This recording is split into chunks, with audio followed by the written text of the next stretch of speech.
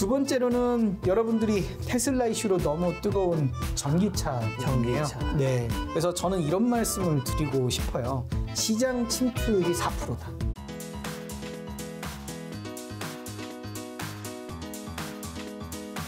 오늘 주제는 바로 종목 분석 10단계 편입니다. 이렇게 구체적으로 종목 분석하시는 저자님 2021년에 관심 유망 섹터 한세개 정도만 아, 예. 그래서 이제 첫 번째는 아까 말한 반도체 섹터를 저는 강조를 드리고 네. 싶어요. 그래서 우리가 그 메모리 반도체는 일단 어, 삼성전자, SK 하이닉스, 그 다음에 네. 마이크론 네. 이세개 회사가 꽉 잡고 있어서 근데 D램이 올해 차세대 D램이 나올 예정이에요. 네. DDR5라고 이게 이제 사실 공정이 굉장히 좀 어렵고 이러기 때문에 네. 초기에 이렇게 공급량을 제대로 못 갖출 그럴 가능성들이 있어요. 그러면서 반도체 디램 가격의 상승. 최근 들어서 전기차들이 반도체가 없어갖고 지금 공장을 멈추는 그런 상황들이 벌어질 정도로 이 반도체 수요가 굉장히 많은데 그걸 못 따라가고 있고요. 작년에 또 어, 마이크론에서 불이 났어요. 네. 공장에서 대만 쪽 공장에 불이 나면서 그게 또 공급량 부족으로 이어질 가능성이 있어서 공급 위에 올해 시장이 될 것 같고요. 두 번째는 5G 인프라 투자가 올해 적극적으로 일어날 것 같아요. 미국 같은 경우에 그동안 작년에 하고 싶었는데 중국도 마찬가지고 못했던 그 5G 인프라 투자가 늘어나면서 결국 반도체 수요도 늘 거고요. 클라우드 시장도 굉장히 커질 것 같아요. 이 코로나 19 영향으로 어떤 네. 언택트 이슈가 발생되면서 cloud의 성장성 또 우리가 집콕 쪽들이 늘어나면서 네. PC 사양 이 업그레이드나 PC 수요도 굉장히 늘어나고 있고요. 네. 인텔이 서버용 CPU 출시를 올해 한다고 그래요. 이런 부분들도 어, 어떤 수요 증가로 이어지는 거고요. 어찌됐든 이렇게 한 번씩 설비를 바꿀 때마다 super cycle이 오는 거죠. 그리고 정부가 적극적으로 소부장주들을 소재 부품 장비주들을 밀어주고 있잖아요. 이런 부분들. 그리고 저는 최근 들어서 그 삼성의 아, 인텔의 그 파운드리 네. 인텔이 지금 원래 인텔이 혼자 있었거든요. 네네. 근데 이게 반도체라는 게 너무 이렇게 quality가 올라다, 올라가다 보니까 인텔이 이걸 못 하는 거예요. 그러다 보니까 인텔의 걸 해줄 수 있는 그런 전 세계 기업을 찾는데 두 군데밖에 없어요. 아. TSMC하고 삼성. 삼성전자. 그러면 1위 기업 TSMC에 몰빵을 해줄 거냐? 근데 인텔로서는 그게 부담스러운 거죠. 부담스럽죠. 왜냐면 저기 인텔이 그 TSMC에 맡겼다가 혹여 뭔가 문제가 아. 생기면 대안이 없잖아요. 그렇죠. 그리고 경쟁을 시켜야 가격이 다운되기 때문에 그래서 그런 의미에서 삼성전자가 이번에 파운드리 사업을 굉장히 확대할 수 있는 음. 기회가 되지 않겠느냐. 그리고 저는 전기차에 들어가는 AI 반도체 음. 이그 테슬라의 그 저기 가운데 그 CPU에 들어가는 네. 그런 고급진 네. AI 반도체 시장도 앞으로 굉장히 좋아질 거기 때문에 이런 걸 종합해 보면 올해 반도체는 굉장히 호황일 거다. 그래서 아까 보셨듯이 2017년, 2018년에 우리 삼성전자의 그 실적 개선 이유도 구글 등이 서버 교체가 있었거든요. 서버 중축이라든지 이런 부분들이 있었기 때문에 올해 아, 어떤 반도체 시장은 좀 유망하지 않겠느냐. 여기에 또 달러 약세도 더해지는 거고요. 그 다음에 중국의 제재, 중국 기업들을 제재할수록 결국 한국 시장이 좋아지겠죠. 더 좋아지는 부분도 있고 마지막으로는 삼성의 상속세. 아. 네, 그래서 연부 연납 제도라고 어, 세금을 여섯 번 나눠내는 네. 거예요. 그래서 올해 내고 1년마다. 그래서 그거를 고배당으로 해결할 이슈들이 많기 때문에 네. 그런 부분들이 결국 삼성전자를 비롯한 관련 어, 반도체 산업에 긍정적인 그런 이벤트를 주는 것 같고요. 저는 개별 기업에 대한 투자가 좀 부담스럽다 그러면 ETF도 추천을 드려요. 아. 그래서 저기 반도체 ETF가 있고요. 네. 어, KODEX 또 TIGER 반도체들이 네. 있어요. 그리고 어, KODEX 삼성그룹 이런 ETF가 있는데요. 반도체 ETF에는 삼성전자가 없어요. 왜요? 삼성전자는 업종 분류가 반도체가 아니라 저 다른 이 업종으로 되어 있어요. 이 어. 그러다 보니까 반도체 업종에는 SK 하이닉스랑 DB 하이텍 네. 얘네들이 굉장히 큰 포션을 차지하고요. 나머지가 이제 소부장주, 소재 부품 장비주들로 되어 있고 그러면 삼성전자를 사고 싶다. 그럴 경우에는 삼성그룹 ETF를 사시면 돼요. 거기에 삼성전자도 들어 있고 삼성전기, 삼성생명, 물산, SDI 그다음에 삼성 바이오로직스 모두 좋아요. 삼성그룹도. 예를 들면 삼성전기 같은 경우는 적층 세라믹 콘덴서라고 MLCC라고 네. 이게 전류를 일정하게 흐르도록 제어해 주는 건데 이게 기존에는 핸드폰에만 들어갔거든요. 네. 근데 이게 이제 전기차에 들어가는 거죠. 음. 근데 핸드폰에 예를 들면 10개 들어가면 전기차에는 얼마나 커요. 음. 엄청나게 들어가는 거죠. 그렇죠. 그렇기 때문에 앞으로 전기차 시장이 되면 될수록 삼성전기의 어떤 이 MLCC는 더 부각이 된다.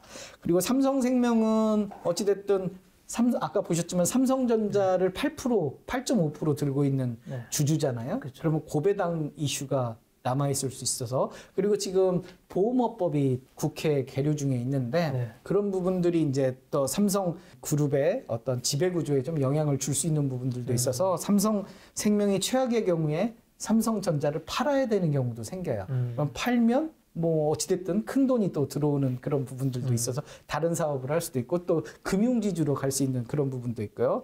물산 같은 경우는 이재용 부회장이 가장 많이 지분을 갖고 있어요. 음. 가장 많이 지분을 갖고 있다는 건 네. 뭔가 사업을 크게 벌릴 수 있는 가능성도 높은 거죠. 글로비스도 마찬가지거든요. 네. 현대 글로비스도 지금 현대가 2차 전지하고 그 전기차 관련 지금 수소 전기차 이런 네. 사업들을 하잖아요.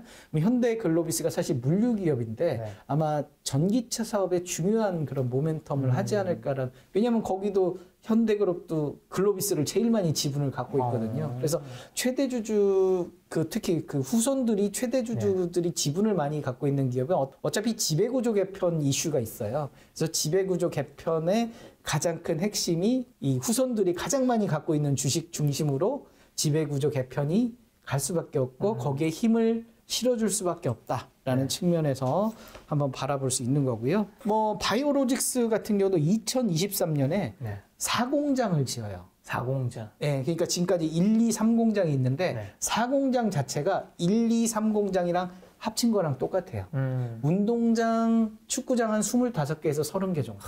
규모의 사공장이 송도에 지금 짓고 있는데 네. 이게 2023년에 완공이 되면 삼성 바이오로직스는 생산 규모가 두 배로 늘어난다는 거. 그런 측면에서 삼성그룹 ETF도 다 좋아요. 삼성 SDI도 뭐 이 원통형 그 저- 전기차 배터리 그 부분에서 지금 후발주자로 계속 이렇게 나아갈 것 같고요. 그래서 어, 삼성전자를 품고 있는 뭐 KODEX 삼성그룹 ETF 이거나 아니면 반도체 포커스 소부장주 중심으로 어, KODEX나 TIGER 반도체 ETF도 관심을 좀 가지시면 개별 기업에 대한 좀 리스크 완화 측면에서 관심을 가지면 좋겠다라고 네. 반도체 이야기를 드리고요. 두 번째로는 여러분들이 테슬라 이슈로 너무 뜨거운 전기차 부분이에요. 전기차. 네. 그래서 저는 이런 말씀을 드리고 싶어요. 시장 침투율이 4%다.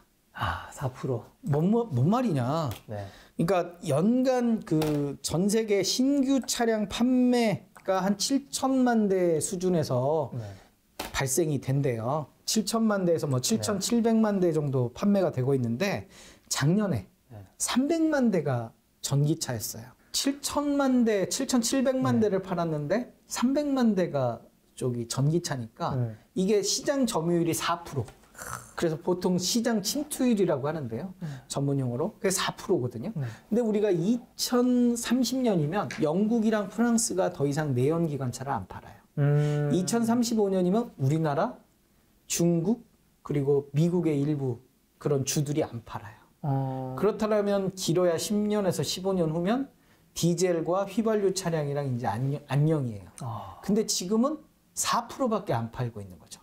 그럼 2030년, 뭐 2035년이 2030년 정도 되면 전문가들은 시장 침투율이 한 50% 정도 된다고 얘기를 해요. 그러면 앞으로 한 9년 동안 4%가 50%니까 12배 이상 성장을 해야 되는 거죠. 그래서 12배 이상 성장을 해야 되는 그런 시장에 이 초입에 있다. 음. 그래서. 우리가 관악산에 지금 입구에 서 있는 그런 주가가 많이 올랐지만 관악산이 입구에 서 있다 이런 표현을 드릴 수 있고요. 전기차 같은 경우는 작년에 300만 대 팔렸는데 네. 올해는 한 500만 대 예상을 하고요. 2023년에는 한 1000만 대 정도 이렇게 예상을 하거든요. 그러면 한 3년 그러니까 2021년, 2022년, 2023년 3년 후면 작년 대비해서 3배 이상 판매량이 늘어나는 거죠. 그러니까 계속 이게 성장 사업이에요. 그래서 저는 테슬라를 바퀴 달린 아이폰이다. 아. 이렇게 이제 말씀을 드리고 그렇게 싶은데요. 표현하신 분 좀 있더라고요. 네, 네, 네. 그러니까 이게 뭐 아시겠지만 이게 자율주행 deep learning을 통해서 결국은 어떤 자율주행 기술의 독보적인 그런 존재가 돼서 네. 그걸로 이렇게 이 여러 가지 부가적인 사업을 하겠다는 게 그 테슬라의 목적이잖아요. 그래서 2030년에는 2천만 대를 팔겠다라는 포부도 지금 얘기를 해요. 작년에 한 50만 대 팔았거든요. 올해 80만 대 그리고 2025년까지 한 200만 대에서 300만 대 팔겠다고 지금 이야기를 하고 있는데요. 이렇게 계속 성장성을 보이는 이런 산업에서 우리가 좀 어, 계속 지켜보는 게 어떻겠느냐라는 측면에서 이야기하고요. 저는 이런 성장 산업 같은 경우는 개별 종목도 물론 좋지만 저는 ETF도 굉장히 좋다라고 생각을 해요. 왜냐면 이런 성장 산업은 도태를 많이 해요. 우리가 테슬 옛날에 그 노키아 핸드폰을 경험을 해보면 이렇게 새로운 기술이 나오게 되면 도태를 하게 되거든요. 지금 테슬라가 독보적으로 이렇게 나가고 있지만 지금 폭스바겐이라든지 일본의 도요타라든지 중국의 전기차 그리고 한국의 현대차가 본격적으로 지금 전기차 시장에 막 뛰어들고 있어요. 그 이유는 작년도에 우리가 2030년, 2035년이면 안 팔 거야. 라는 이야기를 하면서부터 갑자기 다들 급해졌어요. 그래서 그런 부분들이 이제 되게 밀고 오는 부분들이라서 앞으로 한 10년 정도 안에 큰 성장을 보이는데 성장주들이 상당수가 상당수가 도태돼서 사라질 수 있다. 그런 의미에서 저는 ETF를 몇 가지 이 추천을 드리고 싶은데요. 네. 우리나라에 상장된 ETF들은 한 네 종류 정도 있어요. 네. 2차 전지 관련해서는. 그래서 아, KODEX 2차 전지 산업, 네. 그리고 TIGER 2차 전지 테마, TIGER KRX 2차 전지 K 뉴딜. 네. 이게 이제 우리나라의 거래소에 상장된 2차 전지 기업들을 중심으로 이렇게 이야기하는데요. 각각의 차이가 좀 있어요. 음. 예를 들면 TIGER KRX 2차 전지 K 뉴딜은 우리가 보통 그 배터리 셀로 이야기할 수 있는 세 개 기업 있잖아요. 네, LG 화학, 그다음에 삼성 SDI, SDI, SK SK 이노베이션의 지- 그 비율이 75% 이상이에요. 음. 그러니까 그 세 개 기업 주가가 거의 이 ETF를 좌우를 하는 거고요. 반대로 KODEX 2차 전지 산업은 그 비중이 굉장히 작아요. 음. 대신 다른 그런 어떤 양극재, 음극재, 네. 뭐 이런 회사들이 포함되고 있기 때문에 아, 이 예를 들면 나는 배터리 셀 기업에 포커스를 두겠다 하면 TIGER, KRX 2차 전지, K 뉴딜 음. 아니면 나는 어떤 양극재, 음극재, 뭐 분리막 이런 전해질 이런 기업이다 그러면 KODEX 2차 전지 산업에 포커스를 두고 투자를 하시면 좋을 것 같고요. TIGER 2차 전지 테마는 알뜰하게 5대 5로 나눠놨어요. 음. 배터리 셀이 오- 50, 나머지가 50. 그러니까 여러분들이 그 추구하는 그런 포커스에 맞춰서 이 ETF들 사시면 좋을 것 같고요. 네. 저는 개인적으로 그 TIGER 차이나 전기차 Solactive라고요. 네. Solactive사에서 만든 지수를 추종을 하는데요. 네. 어, 그 전기 그 중국의 전기차 산업에 있는 그런 어떤 어, 소재 기업들을 주로 투자를 하는데요. 이 기업도 중국차의 성장성 등을 감안하면 이 ETF도 굉장히 괜찮지 않을까. 올해 그 중국의 성장성을 한 어, 8% 이상 지금 전문가들이 바라보고 있어요. 작년도 코로나 사태에 어, 이 주요 선진국 중에 유일하게 플러스 성장을 한 나라가 중국이에요. 2%, 2.3% 정도 성장세를 보여줬거든요. 그래서 예, 올해는 한 8% 이상 성장세를 보인다고 이야기를 하고 있기 때문에 네. 또 바이든이 이렇게 취임을 했기 때문에 네. 아무래도 트럼프보다 이런 좀 경제 제재나 이런 부분들은 좀 완화될 수 있을 분위기라서 네. 그런 측면에서는 우리가 그 이렇게 차이나 이름을 가진 ETF들이 몇 개 있는데요. 네. 차이나 항생테크나 차이나 바이오테크 그리고 차이나 전기차 이런 네. ETF들도 관심을 좀 가져보시면 어떨까라는 생각이 들어요. 어찌됐든 시간은 우리 편이다. 그래서 지금 테슬라 같은 경우는 차를 어떻게 하면 싸게 팔 거냐 이게 포커스잖아요. 네. 차를 싸게 팔고 어, 차를 싸게 파는 대신 그 차들이 돌아다니면서 여러 가지 데이터들을 데이터들. 모으고 그 데이터들을 또 인공위성을 띄워갖고 SpaceX라고 음. 관계회사의 한 60여 개 위성이 이렇게 떠돌면서 그런 데이터들을 수집해서 그래서 최근에 이제 우주항공 관련 주들도 급등을 하는 이유가 그런 이유가 되는 것 같고요. 현대차 같은 경우도 지금 기존에는 이제 그냥 차량 제조업체였는데 이제는 그 현대 오트론 그 3사를 합병하기도 했고 보스턴 다이나믹스라고 AI 아, 관련 맞아요. 회사를 이렇게 사면서 그런 부분들이 결국 이 테슬라 모델을 음. 좀 따라가는 것 같아요. 그러니까 차량이 아니라 네. 이제 어떤 플랫폼 시장의 경쟁자로서 음. 뛰어들고 있다. 그래서 저는 테슬라가 결국 애플의 경쟁자가 되는 거 아니냐. 그래서 애플의 어떤 구글의 그런 플랫폼을 네. 결국 이렇게 하기 때문에 애플도 애플카 이야기를 괜히 한 게 아니지 않느냐라는 측면에서 이야기를 드리고 싶어요. 그래서 어떤 그런 전기차가 지금 상당히 많이 올라왔는데 그렇죠. 저는 뭐 관악산의 입구에 와 있다. 음. 앞으로 시장 침투율이 4%이기 때문에 네. 시간이 가면 갈수록 올라갈 것이다. 그래서 음. 성장주의이기 때문에 가급적 뭐 개별 기업 뭐 음극재, 양극재, 분리막, 뭐 전해질 이런 기업이나 배터리 셀 기업에 투자하는 것도 좋지만 음. 이왕이면 저 ETF에 투자해서 리스크를 좀 낮추는 것도 방법이다. 음. 그리고 우리가 그 KRX 뉴딜 지수라고 우리가 발표를 했어요. 그래서 네. 이 2차 전지 배터리에 대한 뉴딜, 지수- 뉴딜 지수로 열 종목을 뽑았거든요. 그 열 종목에 들어있는 그런 종목들 중심으로 뭐 개별 종목을 투자한다면 압축해서 투자해 보시는 것도 방법일 수 있겠다라고 말씀을 아. 드려요. 테슬라의 주가는 지금 8만 아, 846달러잖아요. 네 네 네. 이건 입구일까요? 정상일까요? 어, 사실 이 테슬라는 계속 실적을 좀 보여줘야 될 것 같아요. 네. 그래서 어찌됐든 테슬라도 지금 현재로서는 50만 대 정도 팔, 네. 파는 상황이잖아요. 그리고 2025년이면 200만 대에서 300만 대 정도 판다고 하니까 앞으로 어찌됐든 실적 성장세가 계속 이어지는 부분이라서 지금 사실 PER은 한 1600배 정도 되는 거잖아요. 이 부분에 16배네요. 결국에 이제 이게 어느 정도 뭐 2, 3년 후에 실적이 결국 이 주가를 유지하느냐가 네. 달려 있는 것 같고요. 그 다음에 지금 테슬라가 자체 배터리 사업을 지금 추진하고 있잖아요. 전고체 배터리. 그러니까 지금은 전해질이 액체라서 불도 나고 이러는데 이걸 고체로 해서 어떤 저 꿈의 배터리를 하겠다. 그래서 지금 전문가들은 그 전고체 배터리가 2030년 정도에 완성되지 않겠느냐라고 하는데 도요타는 내년, 뭐 중국의 기업 CATL도 내년, 뭐 테슬라도 곧 뭐 이렇게 이야기를 하는데 네. 과연 그 전고체 배터리가 빠른 시간에 될 수 있을 것인가? 음. 만약에 그렇게 된다면 전기차 시장은 더 빨리 올 수 있다. 그렇게 하면 1686배가 뭐 이제 많이 낮아질 수 있는 음. 거죠. 그래서 기술 개발과 실적 개선이 결국 어, 어떤 방향성이 아닌가라는 측면에서 조금 더 지켜볼 필요가 있을 것 같아요. 네. 그리고 마지막으로는 CMO 시장을 저는 CMO. 네, CMO라고 이게 con contract manufacturing organization. 그래서 한마디로 백신 위탁 생산이에요. 음. 그래서 아, 우리가 2020년을 되돌아보면 어, 처음에 진단 키트, 네. 그 다음에 백신 개발. 올해는 이제 백신 생산의 시점이 아닌가라고 생각이 들고요. 2월 달, 뭐 3월 달부터 백신 접종을 한다고 하니까요. 네. 백신 위탁 생산 기업들의 실적 개선세가 좀 이어지지 않을까 그런 측면에서 백신 위탁 생산, 뭐 삼성 바이오로직스라든지 SK 바이오사이언스 이런 기업들의 어떤 주가도 긍정적인 영향을 미치지 않을까. 특히 SK 바이오사이언스 같은 경우는 올해 상반기에 상장 예정이에요. 네. 뭐 시장에서 바라보는 거 한 3조 정도 예상을 하거든요. 그 모회사가 SK 케미칼인데 케미칼이 한 98% 정도 지분을 음. 보유하고 있어요. 그렇게 되면 결국 이 작년에 우리가 SK 바이오팜 사태를 한번 겪어봤잖아요. 네. SK 바이오팜 상장할 때 SK라는 이름만으로 다 막 급등을 했고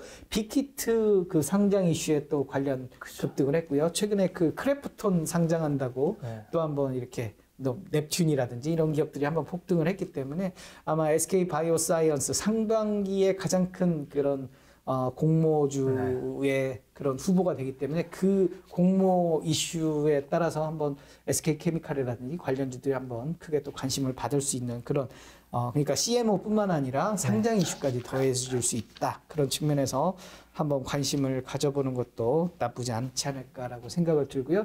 또 우리가 지금 1월이니까 네. 아, 6월 장마철에 대비해서 폐기물주들도 음. 한번 눈여겨볼 필요가 있는 거죠. 그래서 폐기물이 독점이에요. 왜냐면 아. 이 쓰레기잖아요. 네. 쓰레기를 멀리까지 이동해서 치우는 건 효율이 없어요. 그렇기 때문에 대부분 그 공간 옆에 다 있어요. 네. 그러니까 다 독과점 사업들 하면서 안정적인 매출이 일어나고 있기 때문에 네. 그리고 이 계속 그 코로나 19 사태로 쓰- 이 쓰레기도 계속 늘어나고 늘어나고 있고. 그다음에 올해 건설 경기 이렇게 회복 이슈들이 있잖아요. 정부가 건설 경기를 계속 밀면 그래서 가장 큰 그 쓰레기는 건자재예요. 음. 건축물들. 그래서 그런 부분들이 어 어찌 됐든 많으면 많을수록 또 매립지가 계속 좁아지고 있어요. 네. 좁아지면서 매립 단가가 계속 올라가고 있어요. 그래서 그런 부분들이 어 어찌 됐든 안정적인 매출에 영향을 주고 또 장마 이슈에 한번 관심을 받을 수도 있기 때문에 그런 부분들도 좀 지켜봤으면 좋겠다라는 측면에서 네. 이야기를 드려요. 박민수 저자님이 말씀해 주신 이제 10단계 종목 네. 고르는 비법은 여기 이번에 출간하신 마흔세 시작하는 주식 아, 예, 예. 오유란성 요 네, 책에 네. 있는 내용이고요. 네네. 그 10단계 제가 다시 한번 말씀드리면 네네. 이제 1단계가 3년간 단기 순이익을 보자. 네네. 2단계가 시가총액을 보자. 네. 3단계가 미래 PR을 보자. 4단계가 3년간 부채 비율, 당좌 비율, 유보율을 보자. 5단계는 뉴스와 공시를 보자. 6단계 3년간 시가 배당률을 보자. 7단계 지분율을 보자. 8단계 3년간 매출 채권 회전율과 재고 자산 회전율을 보자. 9단계 PR을 보자. 10단계 내 생각을 해보자. 네네. 그 밖에도 뭐 많은 이야기들이 이 책에 담겨 있으니까 혹시 네, 관심 네. 있으신 분들은 네네. 주문해서 보시면 좋을 것 같고요. 네네.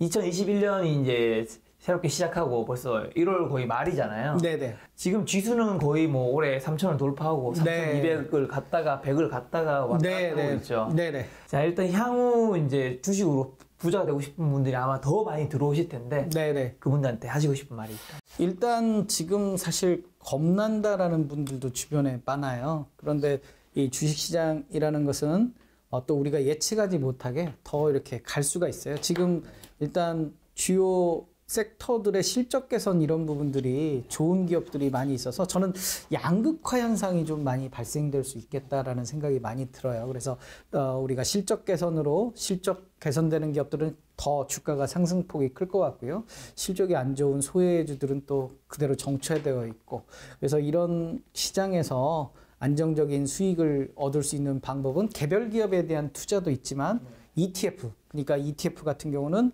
대형 기업들 그리고 우량 기업들을 많이 담아 놓고 있거든요. 그래서 어 그런 ETF 중심으로 좀 그러니까 개별 종목 투자도 하고 ETF도 분산 투자해서 하시면 어 상위 종목에 대한 수익률을 안정적으로 같이 누리는 그러니까 주린이일수록 그런 어 ETF 투자도 좀 고민을 해보시고요. 저는 433 전법을 마지막으로 좀 강조를 드리고 싶어요. 내가 축구 감독이다라고 생각을 하고요. 우리가 축구 감독하면 뭐 디펜스 4명, 뭐 미드필더 3명, 공격수 3명 이런 식으로 뭐한뭐 434, 뭐 이런 전법들 많이 하잖아요. 그것처럼 433 전법인데요. 뭐냐면 한 30% 정도는 디펜스예요. 현금을 좀 보유를 하는 거고요.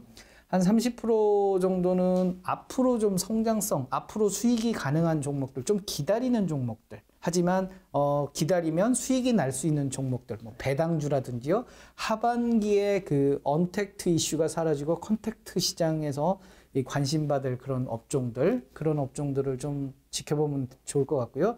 40%는 지금 뜨거운 종목들, 반도체라든지 2차 전지라든지 이런 뭐 CMO라든지 이런 기업들 중심으로 좀 적극적으로 하고 만약에 손실이 나면 30% 현금을 디펜스하고 있는 현금을 투입해서 추가 매수하는 전략으로. 만약에 내가 보수적인 투자다 3,200이 좀 겁난다 하면 334 현금을 한 40% 정도 들고 있으면서 투자를 하시면 좋을 것 같고 아까 그 공격수도 너무 좀 부담스럽다 그러면 뭐 개별 종목 50% ETF 한 50% 정도 이렇게 각자의 분산해서 성향에 맞춰서. 예, 투자하시면 좋을 것 같다 라고 말씀을 드리고 싶어요.